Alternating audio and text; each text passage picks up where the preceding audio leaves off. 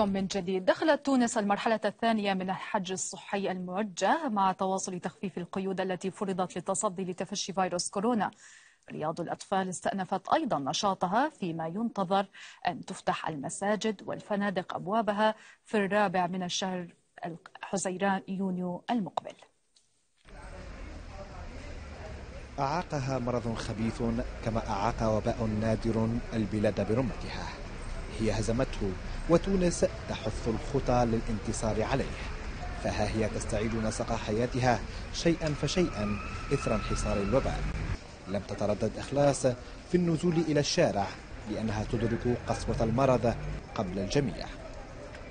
الحمد لله بعد شهرين تخيسك من الحجر الصحي ومن الحسرة في الدار بديت الناس تخرج تخدم بديت شوية حوين تتحل متاع لبسة وكل شيء. إن شاء الله تتنحى علينا الكورونا وتتنحى علينا المرضى دايز يبعد علينا ويخلينا مرتاحين الناس الكل. أعادت تونس ضبط ساعتها على مواعيد استئناف وتيرة الحياة لا على فرض مزيد من القيود. عاد منصور إلى سالف عمله بعد طول انتظار فالمقاهي فتحت أبوابها دون المكوث فيها. تمهيدا لفتحها كليا وإعادة جميع الأنشطة إلى ما كانت عليه بعد أسبوع. بعد شهرين ونص من التسكير ضرينا برشا في التسكيرة آه تعرف واحد بطال شهرين ونص من غير آه، فلوس. ضرينا برشا ولاباس تو نخدموا لنا بشوية بشوية. امتلأت الأسواق واكتظت الشوارع. ذاك إذان بعودة الحياة في البلاد.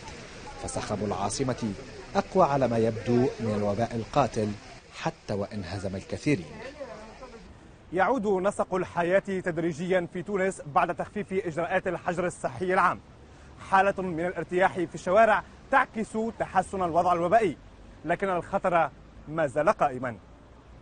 وسام الدعاسي العربي تونس. بدأت الحياة تدب من جديد في أوصال الضفة الغربية إذ خففت الحكومة الفلسطينية إجراءات الإغلاق العام مع انحسار تفشي فيروس كورونا.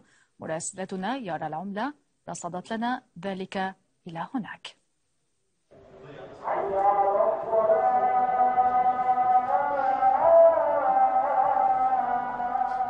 لأول مرة منذ ثلاثة أشهر لم يدعو المؤذن الناس للصلاة في بيوتهم. فباب المسجد بات مفتوحا.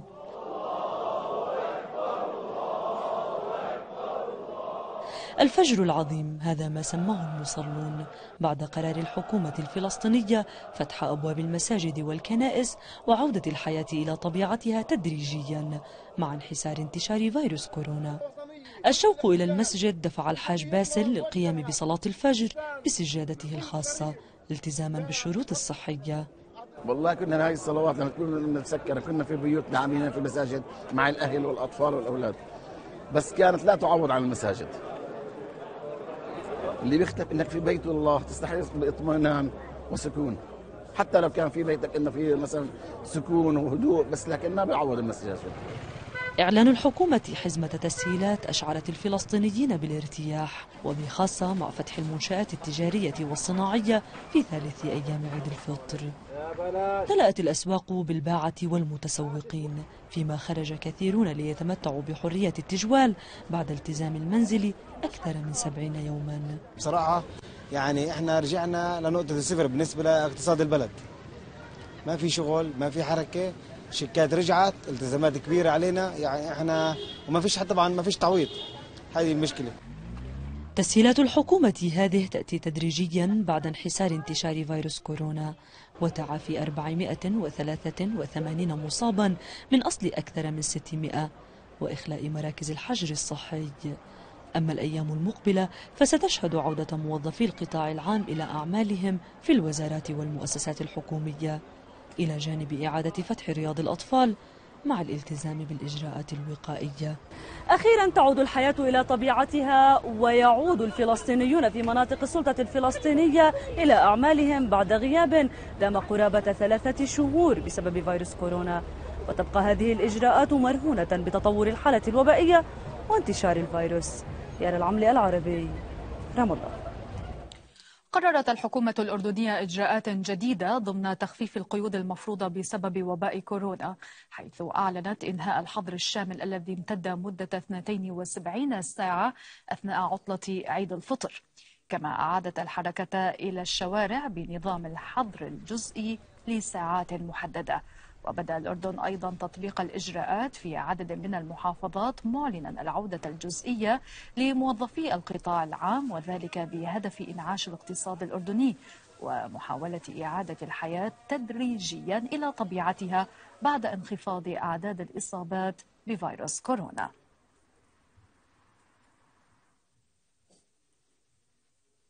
أعلنت السعودية تخفيف القيود المفروضة بسبب تفشي فيروس كورونا تمهيدا لرفعها نهائيا بحلول الحادي والعشرين من يونيو القادم.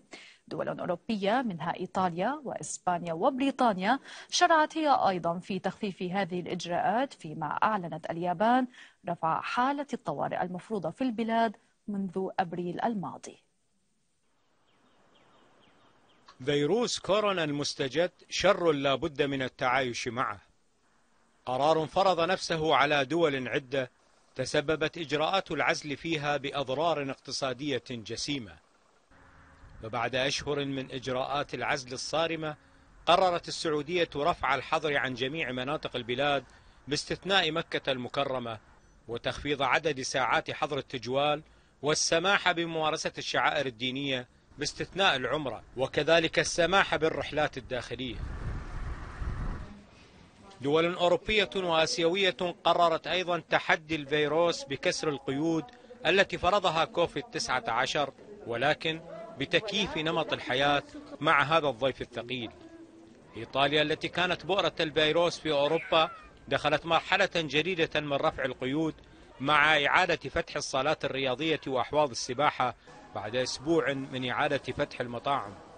سكان العاصمة الإسبانية مدريد استفادوا من أول إجراء لتخفيف الإغلاق مع إعادة فتح أرصفة المقاهي والمطاعم والمساحات الخضراء. رئيس الوزراء البريطاني بوريس جونسون أعلن أن البلاد ستعيد فتح الآلاف من متاجر الشوارع الرئيسية والمراكز التجارية في الشهر القادم. اليابان رفعت حالة الطوارئ التي كانت مفروضة على مستوى البلاد منذ منتصف أبريل. إيران أيضا أعلنت إعادة افتتاح المساجد والمراقد الدينية. لكن هذا التخفيف لن يكون مطلقا وبلا ضوابط. أول تلك الضوابط هي مراعاة قواعد التباعد الاجتماعي فيما فرضت بعض الدول وضع الكمامات. وفي الوقت الذي بدأت فيه أوروبا التحرر ببطء من قيود العزل تشهد دول أمريكا الجنوبية وخاصة البرازيل هجوما شرسا من الفيروس حولها إلى بؤرة عالمية جديدة. معادلة فرضها كوفيد 19 مضمونها ألا تخفيف لقيود العزل إلا بعد أن تقدم له قرابين من الضحايا تهدئ من تنمره وسط مخاوف من عودته في موجة جديدة الخريف المقبل. ومع تخفيف إجراءات العزل في بريطانيا يتجنب سكان لندن وسائل النقل العامة لصالح الدراجات الهوائية. لتفادي الإصابة بفيروس كورونا فأصبحت هذه الدراجات منافسا رئيسيا أو حقيقيا للسيارات في معظم الطرقات البريطانية. وصل الفيروس من الصين وهذا مشهد صيني في قلب لندن. اخترعت أوروبا الدراجة والصين ركبتها حولتها مع مرور الوقت إلى ثقافة شعبية تصدرها اليوم إلى عواصم غربية. يخرج اللندنيون شيئا فشيئا من محاجرهم وقد غير الوباء ملامح مدينتهم. طرقات كثيرة لن تكون للسيارات والنقل العام لم يعد متاحا للجميع. من المؤسف أن الأمر يتطلب جائحة لتثبت لنا أننا بحاجة للتنقل بطرق آمنة في لندن. ومع التزام العمدة وتوفير التمويل يظهر أن هناك تغييرا على كافة المستويات. منذ أن كان عمدة للندن هرم بوريس جونسون ومعه نشطاء البيئة من أجل هذه اللحظة. منذ سنوات يكافح لتحرير المدينة من السيارات وقد جاءته هدية من الصين. الفيروس قاتل ومخلص في آن واحد. غير سياسات النقل. الحكومة البريطانية خصصت ربع مليار جنيه استرليني لتشجيع الناس على المشي وركوب الدراجة إلى أعمالهم. شقت مسالك للدراجات اقتطعتها من طرق السيارات. رفعت رسوم النقل العام وزادت ضريبة دخول المركبات إلى وسط لندن لتخفيف الازدحام. لا يزال الناس يخرجون لممارسة رياضة الركض في الجو الماطر أو العاصف سيستمتعون به والأمر ذاته ينطبق على رياضة ركوب الدراجات الهوائية. الدراجون متربحون من الأزمة. لن يعطس في وجوههم أحد. ابتسمت لهم شمس الربيع فزاد عددهم متعة ورياضة. تنقل آمن ومجاني. وبعضهم يراهن على التخلص من كيلوغرامات زادها الحجر على وزنه. فهل يطول ولاؤهم للدراجة أم أن شتاء لندن الطويل؟ سيسوقهم مجددا إلى أنفاق المترو الدافئ. سقيع لندن أيضا ليس أرحم من الفيروس. أمراضه تفتك بالآلاف سنويا. صابر أيوب العربي لندن. نبقى مع صابر أيوب من لندن. أهلا بك صابر. إذا مؤخرا هناك ثمة أزمة ثقة بين الشعب البريطاني والحكومة البريطانية خصوصا مع عدم التزام المستشار الأقرب لبوريس جونسون بقرارات الحكومة بالعزل كيف يتفاعل البريطانيون مع قرارات الحكومة الجديدة بتخفيف إجراءات آه، العزل والحجر الصحي في بريطانيا؟ بالفعل صبا تولدت في الحقيقة آه، أزمة ثقة لدى الحكومة أو بين الحكومة البريطانية والرأي العام في بريطانيا خاصة وأن استطلاعات الرأي تشي اليوم بأن الثقة في الحكومة وشعبية بوريس جونسون وحكومته نزلت من 20 نقطة إيجابية إلى آه، آه، إلى نقطة واحدة تحت الصفر أي بتسعة عشر نقطة وهو لم يسبق لأي حكومة أن شهدت مثل هذا الانخفاض في الحقيقة وهذا مقلق بالنسبة لحكومة بوريس جونسون خاصة وأن أغلب وزراء هذه الحكومة يتمسكون بدومينيك كامينغز الذي خرق أو المتهم بخرق إجراءات العزل من خلال سفره إلى بيت بيته العائلي أو بيت والديه في مقاطعة در الهرم على بعد 240 كيلومتر من لندن. في حين كان البريطانيون يعانون تحت إجراءات آه، العزل ولا يمكنهم الذهاب آه، آه، إلى أقصى من كيلومترات معدودة خارج بيوتهم من أجل ممارسة الرياضة والإجراءات الأخرى أو الاستثناءات الخمس الأخرى التي حددت حددتها الحكومة في حين هو كان يتجول في بريطانيا. هذا ما أغضب البريطانيين أغضب وزراء في الحكومة والبرلمان ونواب في البرلمان مما أدى إلى استقالة وزير في الحكومة البريطانية وهو دوغلاس روس وزير الدولة المكلف بشؤون اسكتلندا ضريبة سياسية تدفعها حكومة حكومة بوريس جونسون والضريبة الأكبر قد تكون في حال فرض إجراءات أخرى أو التعديل على أي إجراءات أو في حال عودة الوباء آه، بقوة نعم. بموجة ثانية فإن الثقة في حكومة في الحكومة البريطانية تضعضعت ولا يمكن في كثير من الحالات للناس أن نعم. يلتزموا نعم بأي إجراءات مستقبلية فيما يخص مكافحة فيروس كورونا شكرا لك صابر. ننتقل إلى معاذ حامد من بلباو. أهلا بك معاذ. إذا هناك دعوة إسبانية لفتح الحدود مع آه، الدول الأوروبية تلتقي مع الدعوة الفرنسية الألمانية. كيف تترجم إسبانيا هذه الدعوة على أرض الواقع؟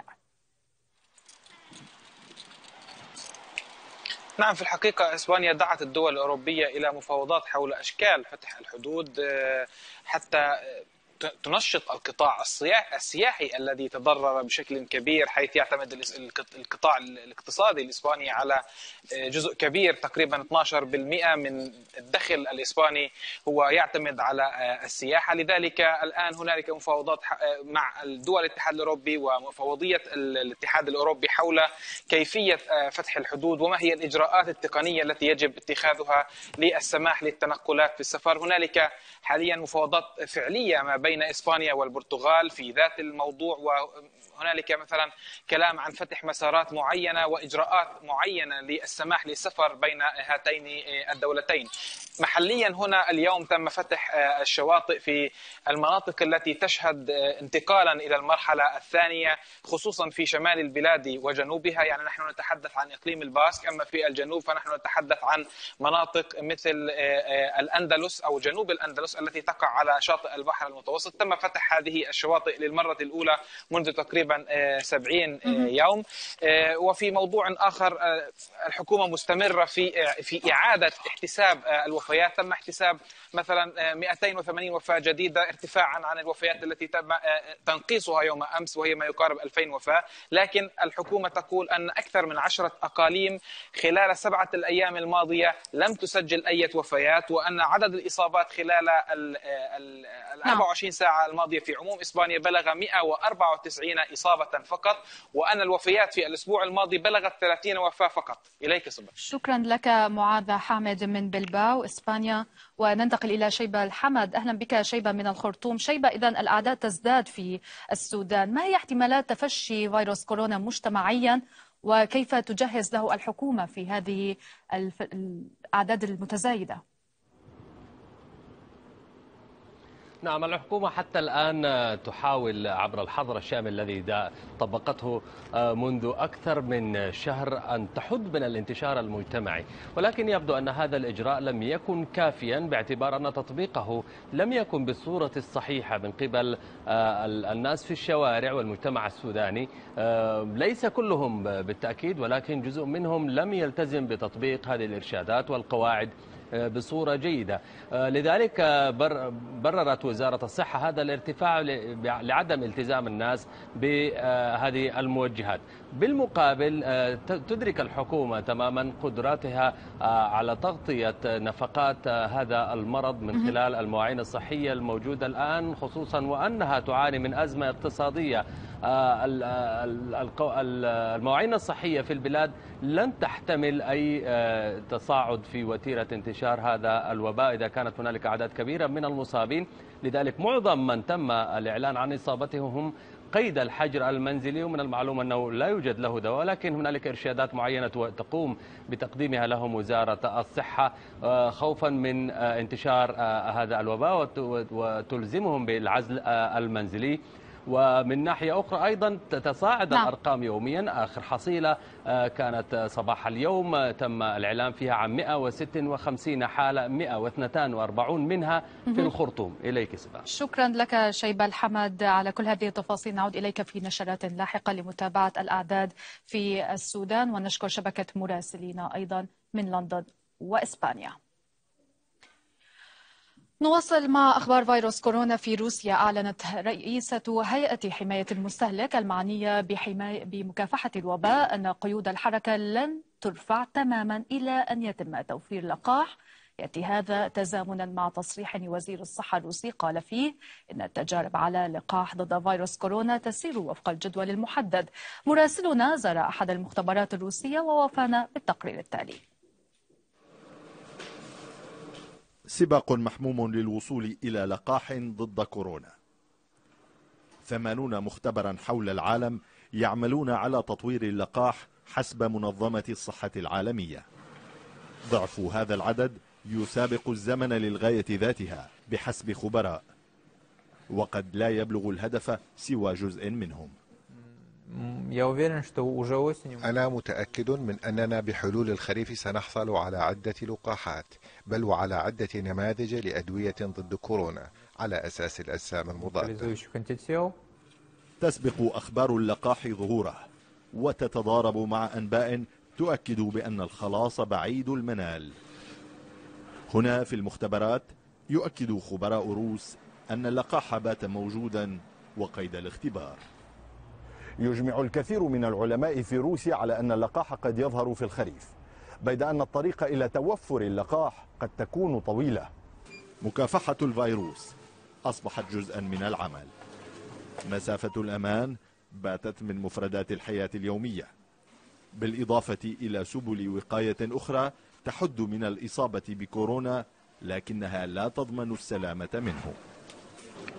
معطيات أنعشت المبيعات عبر الإنترنت على حساب المتاجر. تأقلمت مع هذا الواقع الجديد. كان غريبا في البداية. ولكنني الآن اعتدت على هذه القواعد كما يعتاد الإنسان كل شيء. عادات جديدة فرضها فيروس كورونا. قد تصبح سلوكا للكثيرين بعد زواله. محمد حسن العربي موسكو. تسبب توقف حركة الطيران والحظر الذي عم تركيا بسبب انتشار فيروس كورونا في شل قطاع السياحة في البلاد. وأفقد أيضا الخزينة أحد مواردها الرئيسية. إسطنبول التي تميزت خلال فترة الأعياد بحركة سياحية نشطة تحولت هذا العام إلى مدينة خالية من الزوار والسياح أيضا. معالم سياحية خاوية. جاء موسم العيد وغاب السياح. فيروس كورونا بدل حال كل شيء. في مثل هذه الأيام كانت إسطنبول قبلة كثير من الزوار. خسائر فادحة تكبدها قطاع السياحة في البلاد. ثمة أمل في انفراجة قريبة تعيد المدينة إلى ألقها Temmuz, Ağustos hatta Haziran'ın 15'ine انتكاسة كبيرة أصابت السياحة في تركيا بسبب كورونا لكننا متفائلون. نتوقع أن تعود السياحة الداخلية رويدا رويدا خلال شهري تموز وآب والسياحة الخارجية خلال شهري أيلول وتشرين الأول. Artık hastalığın etkisinin geçtiğine dair. 52 مليون سائح جذبتهم تركيا العام الماضي. عائداتهم على الخزينة قاربت 35 مليار دولار. لكن الفيروس أصاب رئة الاقتصاد التركي أيضا. تركيا كغيرها من الدول تأثر اقتصادها سلبا بعد انتشار كورونا والدخل القومي التركي يعتمد بشكل كبير على السياحة ولذلك أعتقد أن الفترة المقبلة ستكون صعبة للغاية. السياحة مصدر أساسي لشريحة كبيرة من الأتراك. الإغلاق أوقف تدفق السياح ويهدد بارتفاع معدلات البطالة. ونذر أزمة اقتصادية قد تكون الأصعب منذ عقود. هذا قصر كابه أو الباب العالي كما يعرف بالعربية. عادة ما يكون مكتظا بطوابير طويلة من السياح العرب والأجانب لكنه اليوم خال تماما من الزوار. وحين تخلو المعالم السياحية في تركيا من زوارها تخلو معها جيوب الكثيرين من العاملين في قطاع السياحة.